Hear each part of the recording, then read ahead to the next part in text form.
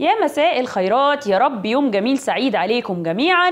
قبل ما أتكلم في موضوعات حلقة اليوم عايزة أنوه على حاجة مهمة جدا. امبارح بالصدفة وأنا كنت بغير في القنوات بتاعة التلفزيون شفت إعلان على قناة آه، روتانا خليجية. الإعلان ده بيتكلم عن على مسلسلات رمضان وأعتقد مسلسل مش عارفة هو سعودي ولا انتاجه إيه بس هو مسلسل خليجي. جايبين شخص قاعد المفروض إن ده حاجة كوميدي يعني. الشخص اللي قاعد ده بيشجع فريق وتقريبا فريقه خسران فبيتكلم وبيقول آه الله يسامحك شمت فينا اللي يسوى واللي ما يسواش وبيشاور على واحد لابس تي شيرت النادي الأهلي جايبين شخص ملبسينه التيشيرت بتاع النادي الأهلي. حاجة قمة قلة الأدب يعني حاجة قمة قلة الأدب. أنا بناشد مسؤولي النادي الأهلي يا ريت حد يراجع الكلام ده. المسلسل ده اسمه شباب البومب وهيتعرض على روتانا خليجية. يا ريت حد يراجع الكلام ده ويشوف اللي بيحصل لأن دي آه قلة أدب وده تجاوز غير مقبول بتاتا إن أنت تعمل مسلسل وتسف عليا وتستظرف دمك وتقول عليا إن أنا مسواش يعني أنا مش عايز أغلط في حد والله علشان ما حدش يقول الوقيعة والعلاقات والكلام الكتير الكبير اللي هم بيقولوه ده. ولكن لما تجيب واحد آه لابس تيشيرت النادي الأهلي وتقول اللي ما يسواش هو بسم الله ما شاء الله في القارة دي كلها هو تقريبا يعني لا صوت يعلو فوق صوت النادي الأهلي. بدون غلط وبدون تجاوز. أنا مش هقول أكتر من كده بس يا ريت يبقى في حد من المسؤولين يشوف القصة دي ماشية إزاي وماشية على فين ويبقى في خطوة تجاه المسلسل ده علشان يتوقف وما يتذاعش أصلا. طيب من أخبار النادي الأهلي أخيرا وبعد طول انتظار العودة للعيبة الدولية أو عودة اللاعبين الدوليين في تدريبات النادي الأهلي حمدي فتحي اللهم لك الحمد. هي إصابة بسيطة كده كدمة في الكتف علشان كان في ناس بعتة وبتقول لي إن حمدي فتحي اتبدل علشان البنالتيز وعلشان محمود علاء أفضل من حمدي فتحي في الشوط. فانا قلت لكم إن لأ حمدي فتحي خرج فعليا مصاب مش عشان موضوع البنالتيز ولا حاجة. ولكن الإصابة دي مش هتعوقه على إنه إن شاء الله بإذن الله يكون متواجد في صفوف النادي الأهلي في مباراته أمام الهلال. طيب ولكن الضربة اللي فعلا زي ما قلت لكم في الوقت اللي مش مناسب هي ضربة رامي ربيعة. رامي ربيعة عنده تمزق في العضلة الخلفية. كلاكيت كم مرة اللي بيعرف يعد يعد بقى. لما يبقى اللاعب مش جاهز وده اللي أنا قلته لما تبقى أنت عندك مدرب كرشة وطبيب كرشتين فبالتالي بتبقى دي النتيجة. اللاعب مش جاهز اللاعب مش أساسي في صفوف النادي الأهلي راجع من إصابة. فأنا لما أجيبه المفروض يبقى في اختبارات المفروض إن أنا أشوفه هل هو هيقدر يلعب ولا مش هيقدر يلعب. مش هجيبه كده من من بيته يلا بشنطة هدومك يا عم الحاج تعالى بسرعة. وكانت النتيجة عودة الإصابة مرة أخرى تمزق في العضلة الخلفية في توقيت مش مناسب.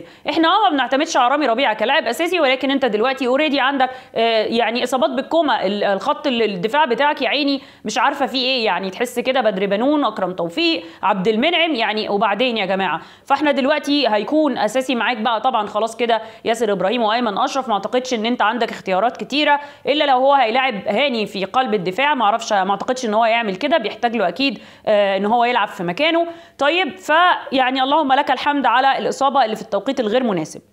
في حاجة آه عايزه اقولها مهمة جدا جدا بخصوص مباراة نادي الهلال. الناس اللي طالعة وبتتكلم وتقول لك لا ده هم 4 4500 مشجع وفي 500 رايحين نادي الهلال وابتدينا نعمل قلق وابتدينا نتوتر ومش عارفة ليه الموضوع يعني شوية كده مش مش آخد الإطار بتاعه. الطبيعي يا جماعة الموضوع ما يستدعيش. خلاص هو أمر واقع. أنت ما تحلمش بأكتر من 5000 ال 5000 راحوا منهم 500 الهلال. قدر الله ما شاء فعل إن شاء الله يكونوا على قدر الحدث. عايزه أقول لكم في حالة الفوز بإذن الله أو التعادل وبإذن الله هيكون فوز وصعود النادي الأهلي في مركز الثاني. هيكون آه احتمالات إن هو يقابل ثلاث فرق الترجي الوداد الرجاء أو الرجاء. طيب الثلاث فرق دول أنا من وجهة نظري يعني أو بلاش أقول وجهة نظري خلينا نشوف إن شاء الله القرعة هتوقعنا مع مين؟ القرعة هتكون يوم 5 4 كل التوفيق للنادي الأهلي. إن شاء الله إن شاء الله المباراة هتتحسم غدا بإذن الله للنادي الأهلي وهنتقابل وهنحتفل مع بعض. طب ده بالنسبة لأخبار النادي الأهلي. في لفتة إنسانية عظيمة جدا جدا ودائما وابدا النادي الأهلي هو اللي بيعودنا أو هو اللي بيعلمنا دايما الحاجات الطيبة والحاجات الكويسة اللي بنفتخر بيها وبنرفع رأسنا فيها. النادي الأهلي جهاز فني وإداري وطبي كلهم راحوا زاروا والدة وأسرة المرحوم محمد عبد الوهاب. ربنا يرحمه يا رب ويصبر أهله ويجعل الأيام المفترجة دي يعني إن شاء الله في, في وقته في الجنة بإذن الله. طيب الزيارة دي بصراحة أنا اسعدتني جدا جدا جدا. يعني في لفتة مهمة جدا وعظيمة. واللي استغربته ما كانش في زيارة النادي الأهلي لأن إحنا متعودين كابتن سيد دائما وابدا على اتصال مع أسرة المرحوم. ولكن كان بالنسبة لي فكرة موسيماني وميشيل يانكون والجهاز كمان بتاعه الجنوب إفريقي كانت لفتة عظيمة جدا جدا منهم بصراحة. لما بيكون المدرب مصري أو الجهاز مصري طبيعي إن بيبقى فيه انتماء بيبقى فيه ولاء للعيبة الراحلين وبيبقى فيه المواقف دي دايما موجودة. هو طبعا مش على إحنا ما بنتكلمش في المطلق يعني إحنا بنتكلم عن عن النادي الأهلي يعني. طيب ولكن لما بيكون الجهاز أجنبي والمدير الفني بتاعك أجنبي ويحب إن هو يشارك ودايما تلاقيه سباق في الحاجات دي دعم اللعيبة بتاعته راح عمل دعم كبير جدا لأكرم توفيق ودلوقتي بيروح لأسرة الراحل محمد عبد الوهاب اللي هو ما يعرفوش وما لعبش معاه قبل كده. لفتة عظيمة جدا جدا. دايما المدير الفني الأجنبي ما بقاش عنده المشاعر دي تجاه ال ال الأسرة. ما هو أنا هقول إن إحنا اللهم لك الحمد النادي الأهلي هو أسرة دايما. كان جوزيه بنفس الطباع وبنفس الصفات عشان كده هو المدرب الأول في آه، قلوب كل الأهلاوية. إحنا عمرنا ما هننسى مانويل جوزيه ودايما في كل المواقف بنذكره بالخير يعني. فبالنسبة لي موسيماني بيكتب تاريخ عظيم جدا جدا على خطى مانويل جوزيه. كان لازم أشيد بالموقف العظيم؟ وكده كده كابتن سيد يعني هو معروف فعشان كده أنا ما اتكلمتش كتير عنه ولكن ولفته طيبه من كل اداره آه، النادي الاهلي. ده بالنسبة لاخبار النادي الاهلي. تعالوا بقى نتكلم على كام لقطه كده مضحكه. يعني والله just for fun يعني علشان أنا الموضوع بالنسبة لي خلاص ما بقاش محتاج إن إحنا نحكي فيه تاني كتير وبتاع. وخلاص أنتوا هتودونا في الحتة اللي أنتوا عايزين آه، تروحوا فيها. وإحنا يعني مش هنسكت. هنفضل طول الوقت على ال social media بنتكلم وضد التوجه العجيب بتاعكم. ولكن في لقطات كوميدية في حاجات بتضحك. امبارح برضو بالصدفة يعني عادة أنا ما بتفرجش على التلفزيون كتير ولكن صدفة كده. فتحت على برنامج شوبير على اون تايم سبورتس وشوبير جايب خبير ليزر. طيب جايب لنا خبير ليزر أو بمعنى صح استشاري آه طب جراحة العيون. يعني استشاري طب آه القصر العيني.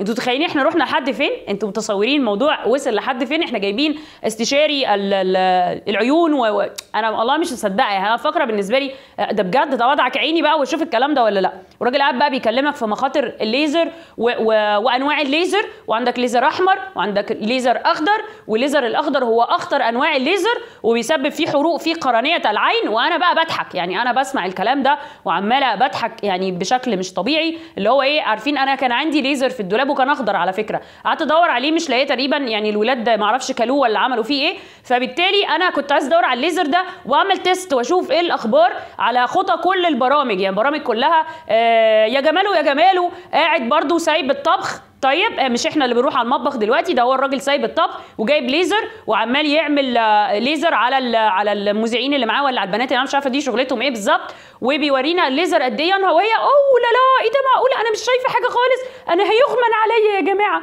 مهازل بتحصل والله العظيم في التلفزيون. اللي استغربته وضايقني بصراحة بعيدا عن الكوميديا اللي عدت دي كلها هو كابتن إسلام الشاطر لما جاب ليزر وعمل برده test ليزر. أنا يعني كابتن إسلام مش حلو مش حلو منك إن أنت تعمل كده والمغزى معروف. الناس دي بتعمل ده لهدف معين وإحنا عارفينه. فيا كابتن إسلام بلاش تشارك في في الليلة دي كلها مش بتاعتنا خالص علشان عيب يعني ما يصحش. وجايب والليزر عمله على الكاميرا كده ويسلط وقال لك شوفوا المنظر عامل إزاي.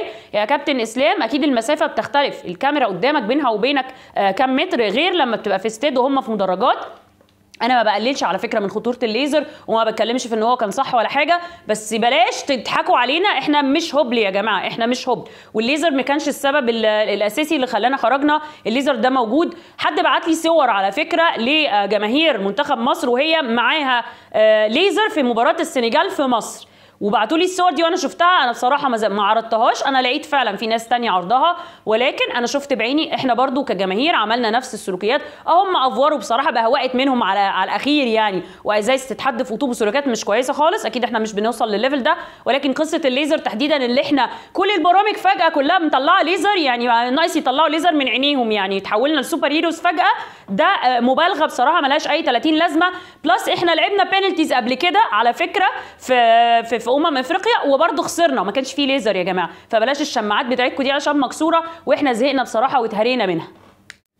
كابتن وائل جمعة قدم استقالته أو أعلن استقالته امبارح على حسابه الرسمي على تويتر وقال شكرا وخلاص كده. طيب موقف محترم. عايزه أوضح حاجة مهمة جدا جدا للناس اللي بتتكلم معايا على تويتر علشان أنا برضو لما بتكون بتكتب غير لما تكون الناس شايفاك وسامعاك. أنا عايزه أقول يا جماعة أنا نقدي لوائل جمعة طول الفترة الماضية علشان وائل جمعة ما كانش حد.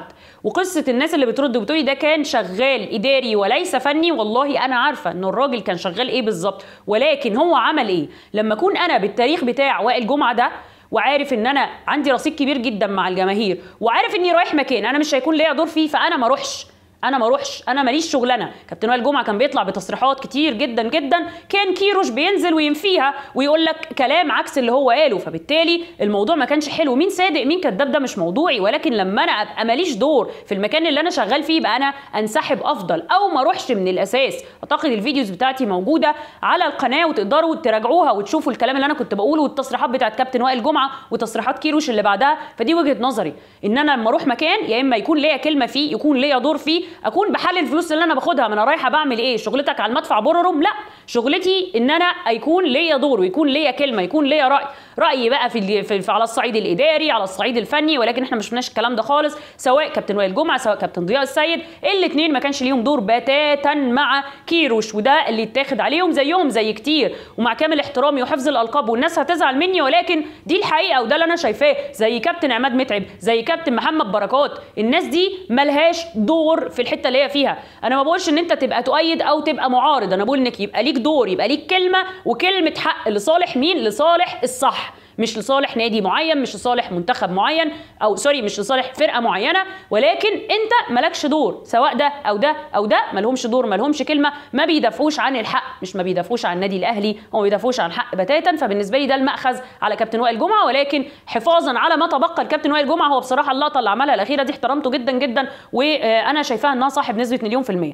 طيب أختم حلقة اليوم بمحمد صلاح. محمد صلاح اللي طلع بفيديو أو آه اتكلم فيه على إن هو بيشكر اللعيبة وعينيه حزينة وبيبكي وزعلان جدا و وبيقول إن هو اللعيبة دي الأفضل واللعيبة دي رجالة وبيقول احتمال يعني الكلام كده رايح في سكة اللي هو إيه سواء كنت معاكم بعد كده أو لأ اللي هو بما معناه أنا ممكن أعتزل اللعب الدولي ده قراره أنا مش هعقب عليه خالص ولكن أعقب على حاجة تانية علشان توضيح للأمر. عشان في ناس بس إيه آه حمدون يعني إيه حمدون؟ يعني آه مطبلاتيه أفورة أفورة عندها اللاعب ده لازم يبقى بالنسبة لهم مقدس والحمد لله إحنا ما عندناش مقدسات ابدا إحنا بنقدس آه لعيبة ما بنقدسش شخصيات فأنا عايزه اوضح. إحنا مش بنهاجم محمد صلاح إحنا آه مش بنتكلم في, في قصه شخصيه ولا حاجة بالعكس لاعب آه رفع راسنا كتير جدا وبيشرف اسم مصر. ولكن أنا بنتقد بنتقد علشان لما بقى شايفه محمد صلاح على الصعيد الفردي ما حدش حمل محمد صلاح حاجة بالبنالتي اللي هو ضيعها. افضل لعيبه في العالم بتضيع. ولكن أنا بتكلم على